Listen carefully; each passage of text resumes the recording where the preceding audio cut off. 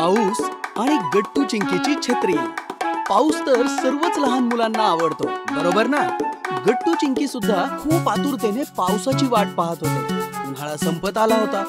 आणि त्यासोबत उन्हाळ्याच्या सुट्या देखील. धो धो पडणाऱ्या पावसात शाळेत जाण्याची काही वेगळीच मजा असते.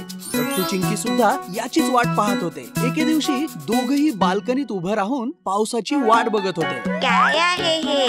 जून महिना संपायला आला आहे तरीही अजून पाऊस सुरू नाही झाला. काळजी करू नकोस. काल मी बातम्यामध्ये बघितले होते की आज पाऊस पडण्याची शक्यता आहे. वाटत तर नाही आज पाऊस पडेल. आकाशात एक सुद्धा ढग नाही. कुठून पडेल पाऊस? अचानक वातावरण बदलू लागलं. सूर्य दिसेनासा झाला आणि आकाशात काळे ढग दाटून आले. थंडगार वारा जोराने वाहू लागला. विजा चमकू लागल्या आणि पाहता पाहता जोराचा पाऊस सुरू झाला. ये!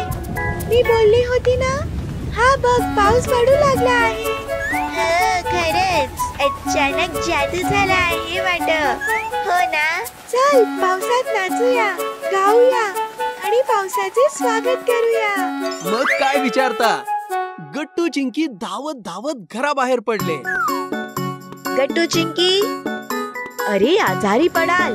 पण ते कुठे ऐकणार होते? ते दोघं तर सोसायटीच्या इतर मुलांसोबत सोसायटीच्या आवारात पावसात नाचत होते गात होते आणि एकमेकांवर पाणी उडवून पावसाचा आनंद घेत होते. पाऊस सुरू झाला आणि शाळा देखील सुरू झाल्या.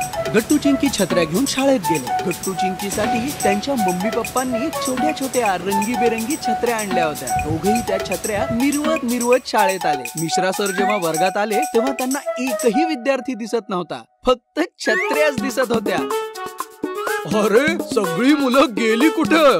हे ऐकल्यावर सगळ्या मुलांनी आपापल्या छत्र्या वर उचलल्या आणि सरांना आपापले चेहरे दाखवले. आम्ही इथेच आहोत सर. हे ऐकून मिश्रा सर हसू लागले. अरे मुलांनो मला तर वाटलं आज फक्त छत्र्याच आल्या आहेत शाळेत शिकायला. पण मला सांगा तुम्ही सर्वांनी वर्गात छत्र्या का उघडून ठेवल्या आहेत बरं? सर पाऊस पडतो आहे ना तर भिजू नये म्हणून उघडल्या.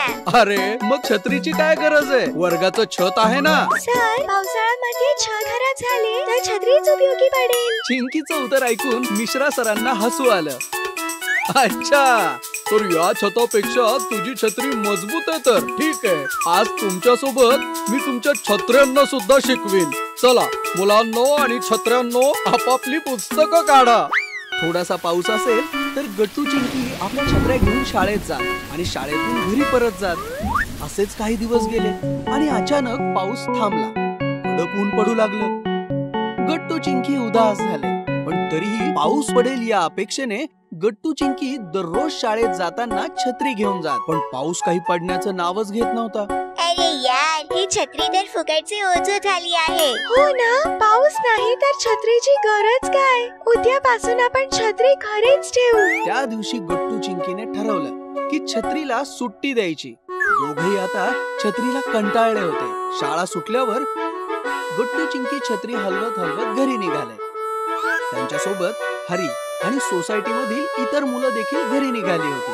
काल मी बातम्यामध्ये ऐकले होते की हवामान खात्यातील लोक सांगत होते की एक महिना पाऊस पडण्याची शक्यता नाही. म्हणून उद्यापासून छत्रीला सुटी. अरे नाही उद्या तर छत्री आणलीच पाहिजे. हवामान विभाग जे सांगते त्याच्या अगदी उलटेच घडते. बघ तू उद्या नक्कीच पाऊस पडेल. हरी असं म्हणतच होता की अचानक वातावरण बदलू लागलं. ढग दाटून आले. सोसाट्याचा वारा सुटला. विजा चमकू लागल्या. आणि जोराचा पाऊस सुरू झाला. पाऊस सुरू होताच सगळी मुलं आनंदाने बागडू लागली. छत्र्या हवेत हलवून हलवून नाचू लागली. आणि पावसाचं स्वागत करू लागली. जोराच्या हवेमुळे हरीची छत्री उलटी झाली. आणि हरी पावसात भिजू लागला. हे पाहून सगळ्या मुलांनी आपल्या छत्र्या बंद केल्या. आणि ते सुद्धा हरी सोबत पावसात भिजू लागले. पावसाचा आनंद घेऊ लागले. तेव्हा अचानक चिंकीची नजर रस्त्याच्या कडेला बसलेल्या एका भिकाऱ्याकडे गेली. बिचारा पावसात भिजत होता. आणि सर्दी झाल्यामुळे शिंकत होता. हे पाहून चिंकीला त्याची दया आली. आपल्याकडे छत्री आहे. तरीही आपण भिजतो आहोत.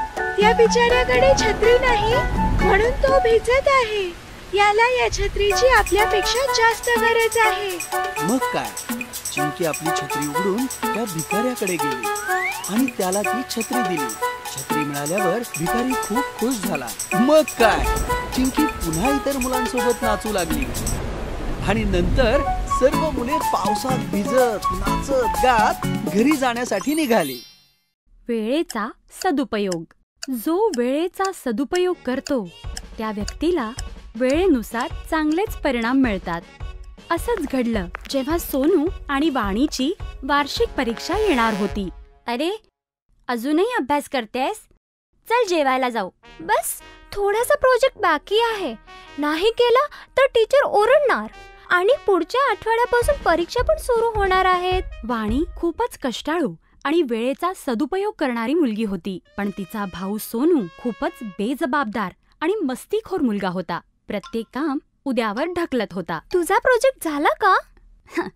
आत्तापासून प्रोजेक्ट तो तर सहा आठवड्यात पूर्ण करायचा आहे अजून तर दोन आठवड्यांचा कालावधी शिल्लक आहे. मी तर लगेच करून टाकेन. आता लवकर चल ग. भूक लागली आहे आणि खेळायचं पण आहे. अरे सोनू थांब. नाही केलास तर टीचर ओरडणार. सोनू आणि वाणीचे आई वडील नेहमी सोनूला वाणीचे उदाहरण देऊन समजावत असत. बघ सोनू बाळा. तू आता मोठा झाला आहेस.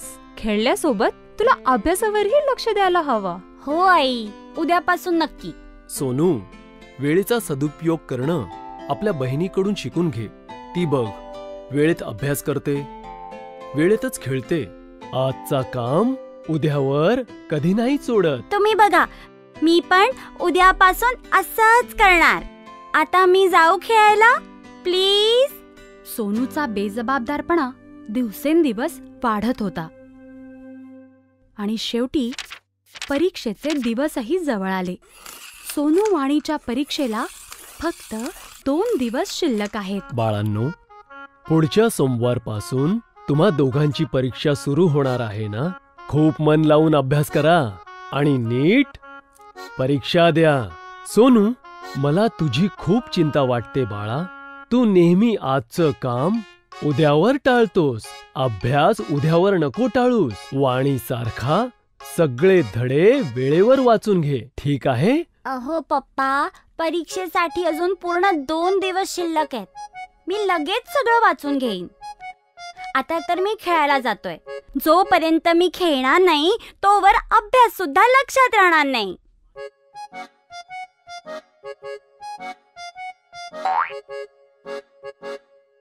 अगं वाणी बघ ना किती सुंदर वातावरण आहे. चल ना आपण थोडा वेळ खेळूया का? अभ्यास तर नंतर सुद्धा होऊ शकतो ना? सगळं अगदी पटकन होईल.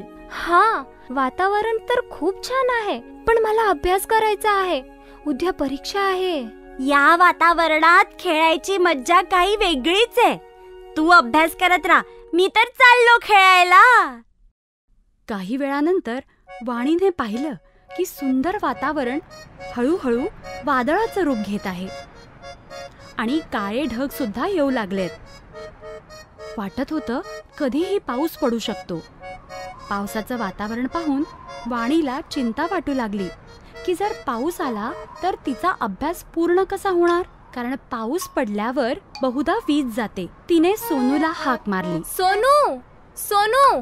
वातावरण पाहून असं वाटतंय पाऊस पडणार आहे. कदाचित रात्री वीज पण जाईल. खेळणं सोड आणि येऊन अभ्यास पूर्ण करून घे. नाहीतर परीक्षेत काय लिहिणार? काळजी नको करू वाणी. आता तर दुपारच आहे. रात्री बसून मी सगळं पटापट पूर्ण करेन. वीज जाणार नाही. उलट पावसानंतर अभ्यास करायला खूप मज्जा येईल. चल मी आता जातो. माझी बॅटिंग आलीये. त्याने जराही ऐकलं नाही. आणि पुन्हा खेळायला गेला. पण त्याची चिंता तेव्हा त्याला वाटायला लागली जेव्हा अचानक पाऊस पडायला लागला. सोनू खूप घाबरला आणि घरी आला.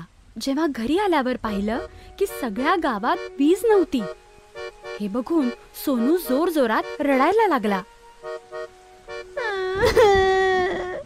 उद्या परीक्षेमध्ये काय करणार मी? मी तर एकही धडा नाही वाचला. आता तर वीज पण नाहीये. मी नापास होऊन जाईल. मी सांगितलं होतं ना? वेळेत अभ्यास कर. मी तुला एक आठवडा अगोदर सांगितलं होतं की वेळेत अभ्यास करून घे पण तुला कधी कळतच नाही. आता भोग. सॉरी पप्पा. आता मी काय करू? कदाचित मी वेळेवर अभ्यास केला असता तर. सोनूला आपल्या चुकीची जाणीव झाली होती. आता पश्चाताप करून काय उपयोग? जेव्हा पक्षी शेतात दाणे खाऊन गेले. आता रडून काय होणार? आता लक्षात आलं की सर्व तुला का समजावत होते?